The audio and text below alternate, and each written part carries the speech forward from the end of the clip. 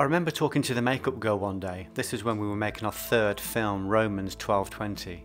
I was telling her about the lead character in the film, Malky, about his scars, about his tattoos. He needs them, I said. He needs the ink, he needs the scars, he needs the broken nose, he needs the cauliflower ear, they're important. When Malky was a boy, this is what I told her. When he was a boy, he was pretty. He had long hair, he was feminine, he looked like a little girl. Sometimes he was actually mistaken for a little girl. The scars are his mask. He's trying to destroy his beauty. He's trying to make himself ugly. He doesn't know this. This is all unconscious. He's trying to destroy the pretty face. He's trying to hide the pretty smile and the pretty bony arse. He's trying to hide it with layers of muscle and paint and scar tissue. He doesn't want to look like a girl. Looking like a girl gets you noticed. Looking like a girl gets you abused. He wants to look ugly.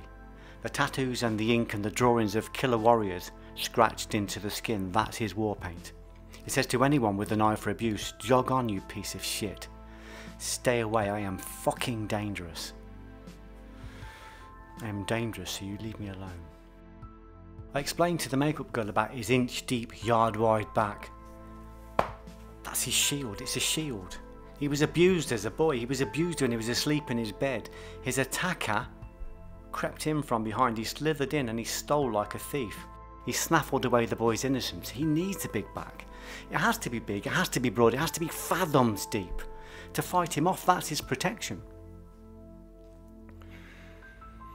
As I spoke about the importance of Malky's armour, I realised, I realised, I realised that I was talking about myself. I understood.